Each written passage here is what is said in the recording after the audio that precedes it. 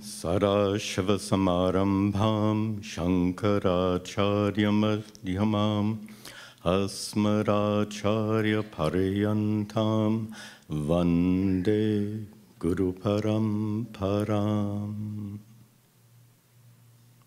Om. Thank you for inviting me, and it is an absolute joy. It's wonderful to come and join all of you here for this wonderful celebration. As I'm walking in the door, I see so many old friends. When I come here, I see my Guru Bhais, Guru Bahans, uh, my brother and sister, Swamis. I see the board members who I remember coming here from the 1980s onwards. And all of you, it really, at least for me, feels like a family reunion, only our family has gotten a little bit, little bit larger over the years, which is absolutely wonderful. Anyway, it's a delight to uh, spend today uh, with all of you in this uh, great celebration. Tell me, when you um, tell your friends and family members that you're coming here to Salisbury, Pennsylvania, to Arsha Vidya Gurukulam, and they ask you, oh, what do you do? What do you do? First of all, they ask, what is Arsha Vidya Gurukulam? And you might give the short answer, which is it's an ashram, it's a retreat center, it's a spiritual teaching place. And then the second question is, oh, what do you do there? And the standard answer is, is problematic because you come and you say, oh, we go there to study Vedanta. And they say, What, what, what for? and if you think about it, how many, many of you have spent how many years in school, in college, graduate studies? You've already studied so much. Now you're going here to study Vedanta. And Many of you know that it's kind of a misnomer. We use that term all the time, and there's nothing wrong with the term, but it does give a wrong impression. Because, look, uh, something you may have thought of before. If you study history, the subject matter is history. If you study mathematics, the subject matter is, of course, mathematics. But when you study Vedanta, is the, stud- is the subject matter really Vedanta? I thought the subject matter is your true self, your true nature, and the relationship between that true nature and everything else that exists. Really speaking, the subject matter of Vedanta, Advaita Vedanta, is your true self the self. It's more accurate instead of saying you're coming here to do to study Vedanta, it would be more accurate to say you're coming here to do Atma Vichara. That's a term that Shankaracharya would use. Atma Vichara. Vichara means inquiry. An inquiry into Atma, your true self, your true nature. But now we've got another problem because if you tell your friends and family members, oh, I'm going to Arsha Vidya Gurukulam to do Atma Vichara, then they say, what does that mean? And he says, oh, I, I want to know who I am. I want to know myself. To which they'll reply, You don't know who you are? After all this time, you still don't know who you are. that reminds me of a, this is a true anecdote. When I was um, yeah, still in my, I think, 20s or 30s, I was visiting my mother, reading one of Pujya Swamiji's books. The title of the book was Who Am I? So she, she asked, What are you reading? And, and I show her the book, Who Am I? And she says, You don't know who you are? I can tell you who you are. You're my son. It was pretty obvious to her. Yet, Atma Vichara is such a profound inquiry. Many of the earlier speakers have shown you how crucial it is to be engaged in a process of spiritual growth. And uh, let me share with you a, a, a favorite observation about why we don't study Vedanta. In fact, when I start a new class at our, at our ashram, I often begin each class by saying, of a new text, a new topic, I often begin by saying, if you've come here to study Vedanta, you're wasting your time. And I was very fond of a, of a statement Swami Satchidananda said, and that is, if I've understood you correctly, if you're only doing Shravana, if you're only studying scriptures, you can have, what is your term, Vedantic obesity?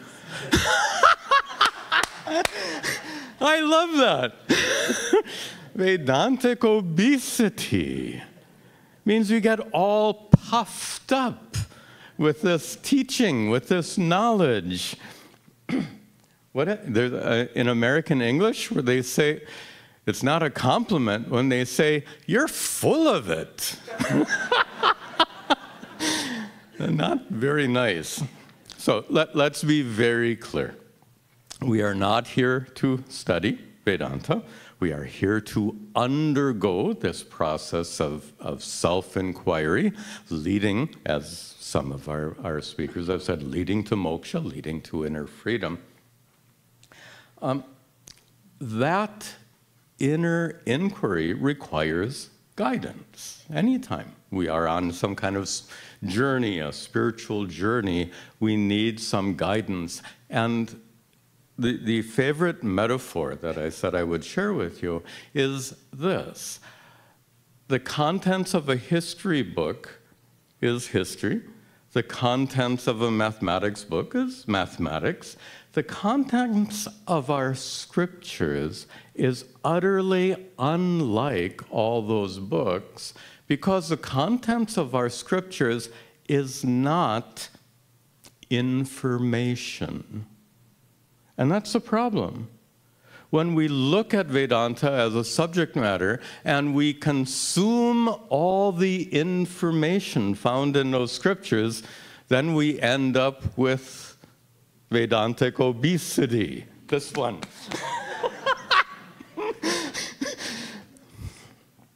it's, it's a big problem. How to avoid the problem, I like that term, how to avoid Vedantic obesity, and that is the way to do so is to use our scriptures not as a source of information, information that you consume, but rather to use our scriptures as they were intended to be used. And this is actually a very technical topic, we won't go into it, but really speaking, the information found in our scriptures is secondary the primary purpose of those scriptures is to lead you or guide you to making a, a, particular discovery. The word we use in Sanskrit is prakriya, methodology. What's valuable about Vedanta is not what it says, but how it says, how it leads you step by step on this journey of, of self inquiry. So instead of looking at the, our scriptures as a, like a history book or mathematics book, it's, I think, more helpful to look at our scriptures as being a roadmap. Now, my assistant tells me that I shouldn't use this metaphor anymore because no one uses roadmaps. know, on your phone and in your car, everyone has an automatic map, and that map always shows you the directions you're going. The map shows you where you are. But just 20 years ago, there were no such devices. Roadmap means, you know, remember, you had to unfold this big complicated thing, and then you had to figure out which side is up. and then you have to figure out look at this. A roadmap is absolutely useless unless you know where you already are. So you have to find where are you on this huge, complicated roadmap and then find your way along. Now, that's a pretty kind of uh, daunting way of explaining a roadmap. Our scriptures are not so confusing as those old fashioned paper roadmaps. And the reason, by the way, those roadmaps are our scriptures, right? And the basis of that metaphor, by the way, is just like the information in a roadmap is less important. Information roadmaps will tell you the names of streets, the populations of cities, and all of that detail. But tell me, what's more important about that roadmap, the information contained within, or its ability to guide you to your destination? Obviously, that's the purpose of a roadmap. In the same way, there's plenty of information in our scriptures, lots. Hmm, that's the source of that Vedantic obesity. But instead of consuming all that information, we have the opportunity to use the scriptures as they were meant to be used, and that is to guide us on a process of Atma Vichara, self inquiry. And I think the best part of that is, is this. Those scriptures give us the opportunity to follow in the footsteps of the ancient rishis, so to speak. The problem is the roadmap the ancient script, the ancient rishis left behind, the roadmap is in Sanskrit. Oh, not only that, but it's full of deep and profound spiritual teachings which are not easily grasped. You know, it really reflects the complexity of looking at that big paper map and not even knowing where to begin when you try to find your, your, where you are on that paper map. So the advantage we have is this. We, we have the roadmap, we have the scriptures, and we have something else extremely important. And that is, we have wonderful acharyas, wonderful teachers who don't make you read the roadmap on your own, but they explain when you turn here, go there, go for one mile, and then make a right turn. So we have acharyas, teachers, to guide us every step of the way. And these teachers are extraordinary teachers. They know they have used the roadmap for themselves to discover what the ancient rishis discovered. They know the roadmap inside and out. In India, have you ever had the experience? You find a rickshaw rickshawala or taxi taxiwala and you say you want to go to this particular place, and you ask the taxiwala, Rasa janta hai? Do, do, do, you know the way? And of course, the, the taxi wala, ha ha, ji, aye, aye. you know, yes, I know, please get into my taxi. And then you, then you proceed to get completely lost for the next three hours.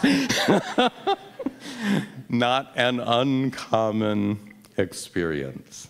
How different it is here to have such wonderful teachers who won't allow you to get lost. They will take you step by step by step, using the roadmap in the form of the ancient scriptures to lead you to discover exactly what the ancient rishis discovered. Thank you. Om. Please keep watch and subscribe US1 TV.